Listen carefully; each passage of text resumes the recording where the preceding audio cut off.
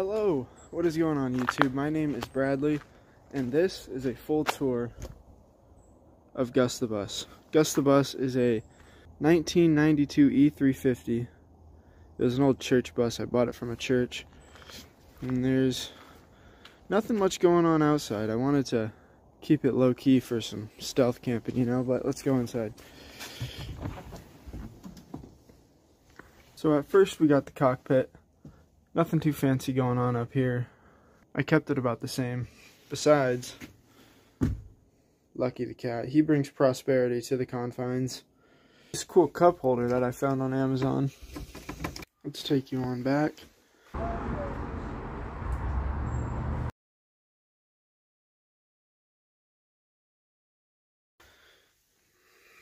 You might be wondering, why is it so orange? I like orange. Oh, leave me alone. I spray painted all the walls orange. But pretty much everything in here was built from scratch. Minus this wardrobe here. Got that at a thrift shop for 20 bucks. The main reason I got it was because it has this cool table, but I actually don't ever use it because I have way more than enough countertop space. Had to make some customizations right here to make it fit in here nicely.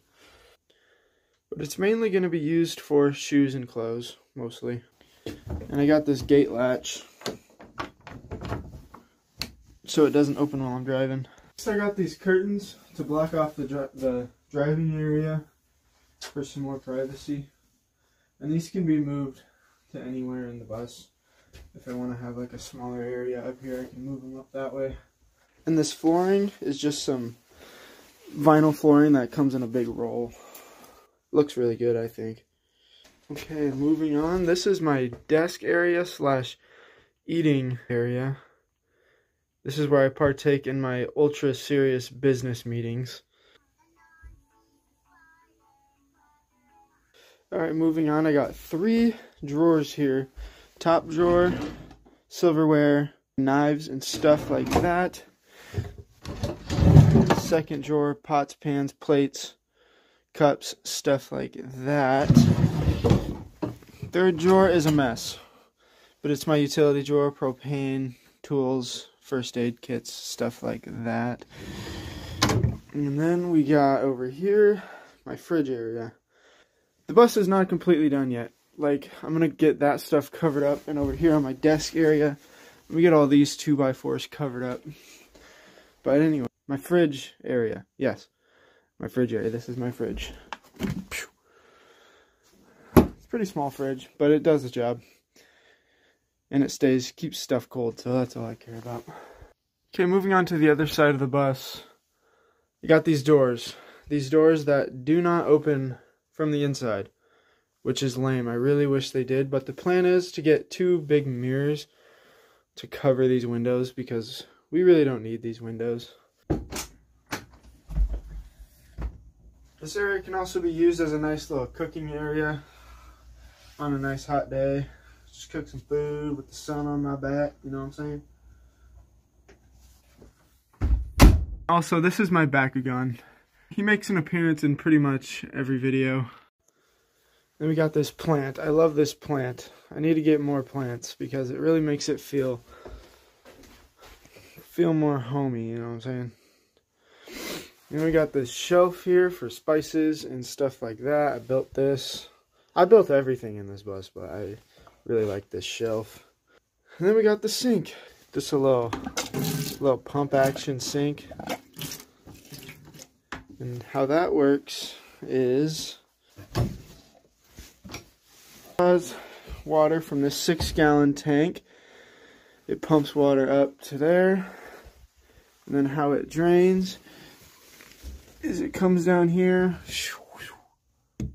right out the bus, just right to the ground. I don't know if that's legal, but I mean, it's just sink water. I mean, we don't pee in it or nothing, so I'm sure it's fine.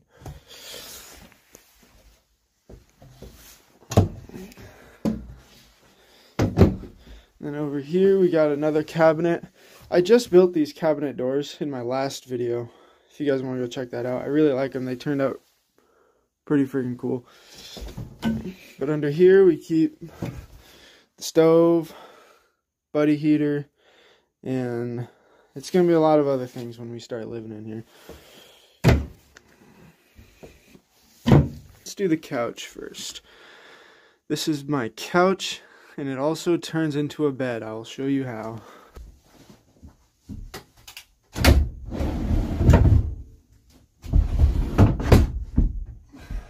Bam. A bed. I wanted to have at least another bed in here for if we have some friends staying the night or something like that. I think it turned out really good. Uh. Ah. And then how the backrest is able to move. It's just on these hinges here. And then I got a rear heater right here. That thing heats the bus up like no other, but the engine has to be running for it to work. But I love that heater. Makes it too hot in here. Curtain situation. I have this shower rod and it's on these ring hooks and it's just magnetized up there super sturdy curtains and they just slide over like this and bam but I hate them they're not even finished yet. I had the back's not even covered up. But yeah I don't like them so I'm gonna do something else. I'm gonna get I'm gonna build some. Oh and see that's one of the reasons why I don't like them. Too many moving parts. Come on baby. Build some single ones to go on each window and then it's going to magnetize in here and it'll be more it'll be more insulated as well because this bus is not very well insulated as it is right now. Okay moving on to the loft bed. I wanted to have the bed up in the air higher because warm air rises and when I'm winter camping and it's really cold the warm air rises and it's like 10 degrees hotter up here than it is down here. So I always stay super warm at night and I also wanted to put the couch underneath it because I don't think I've seen anybody ever do that before. And I think it looks pretty cool. I mean, the only downside to putting the couch under here is there's not a lot of headroom. But I mean, if I'm leaning back, chilling like this, it's perfect. But I mean, if you're if you're taller than four, I mean, if you're taller than five foot nine, you're probably not going to be able to be very comfortable under here, but good thing I'm five foot nine, so it's it works out perfectly. The bed is supported is it's got four posts, obviously, and then it got these steel beams going across, so it's plenty supported underneath. I used to have wood. I just put these up last video. I used to have wood and they started sagging and I was always worried that I'd fall down in the middle of the night, but I got steel, a lot more supported now. This is how I get up into my bed every night. Just step right on the counter.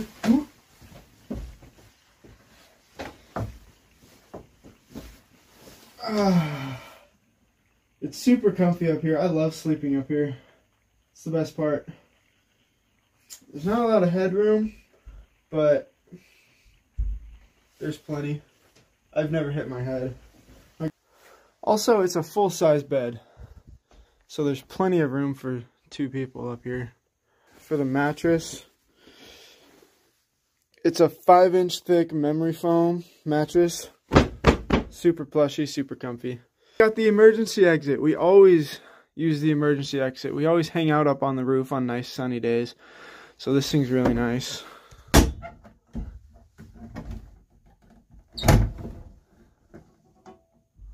Oh, it's raining. Gotta do this quick.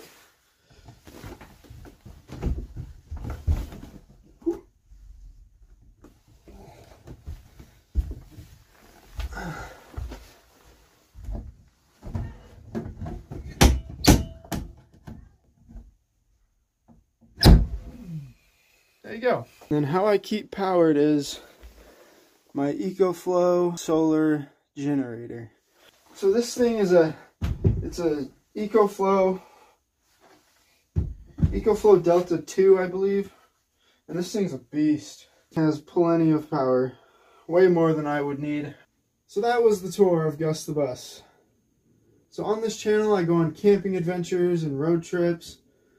So if you like that kind of stuff, you could probably think about like uh, I don't know, like subscribing or something. I don't know. I'll see you guys Thursday.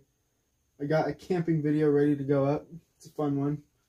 Until then, please take care of yourselves. Thank you. Bye bye.